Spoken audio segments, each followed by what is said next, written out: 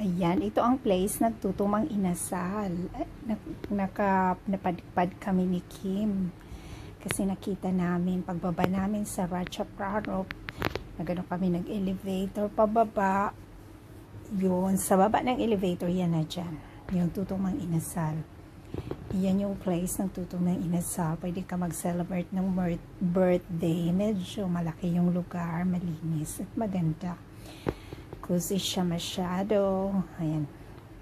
Kwento-kwento ako. Kaway-kaway. Nagdudrama-drama. Ayan.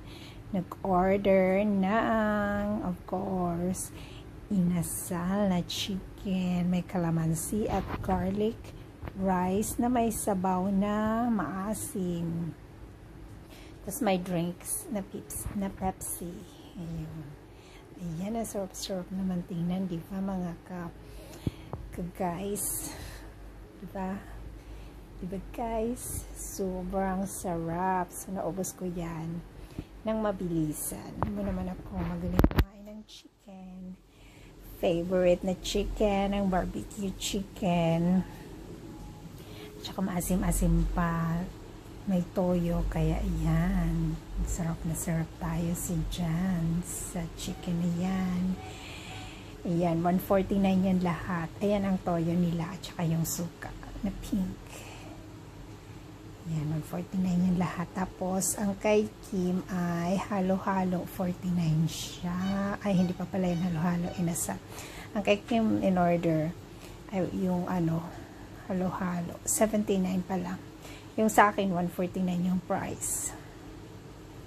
Yung kay Kim yung parang ice. Hindi pala siya halo-halo parang ice crumble na may mga ano din, may mga halo din. Pero hindi ganun karami ang halo sa halo-halo kung i-compare.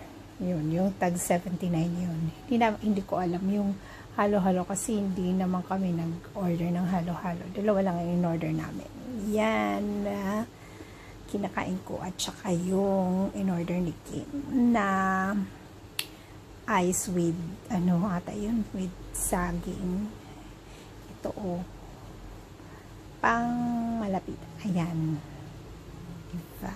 Then nakarating na kami ng Pratunam. Ikot-ikot video-video hanap muna ng kung anong mga ano sightseeing muna. Kung anong mga nagugustuhan. Tapos pagkatapos niya babalikan na lang para bilhin. Yeah. Yan ang mga type ni Kim na dress. Yan. Kaso lang sleeveless siya. Ay, medyo ano, um, ewan, na coffee shop.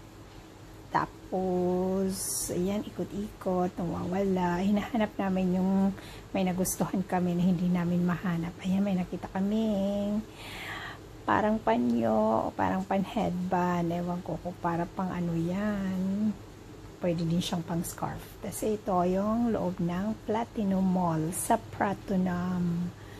Maraming mga shoes, sandals,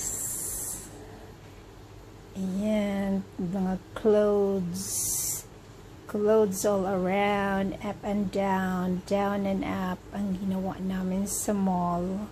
Puro clothes, nakakahilo. Ako naman, yun, video-video, pa-cute-cute, na eh, hindi ko naman, ano, tatanggalin ko naman yung sound niya, kasi may music siya dun sa may, ano, sa may manginasal, kaya tinanggal ko na lang lahat ng sound, tapos inulit ko magsalita.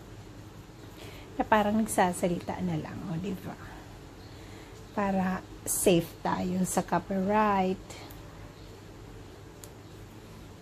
Ayan, ayan na ang nilakad namin. Sobrang traffic. Hindi umuusan yung sasakyan. Pero nilakad, binaybay namin yung straight na daan na yan. Lampas pa dun sa may, dyan sa may tulay, lampas pa dyan ang nilakad namin para makapunta kami sa airport link. Ah, di ba? Mas mabilis pa kami sa sasakyan.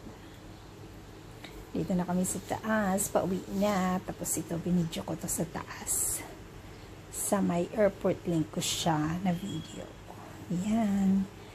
Yun dun sa dulo, mga shopping mall na yan. Yung Central World dun sa dulo. Ayan, o, na may parang square na puti dyan.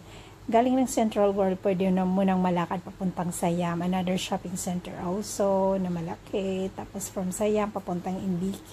Kung, kung alay lakad talaga ang gusto mo, di ba? Mega shoutout dyan. Ayan na, picture-picture ng konti. Patapos na to. Salamat sa pag-watch.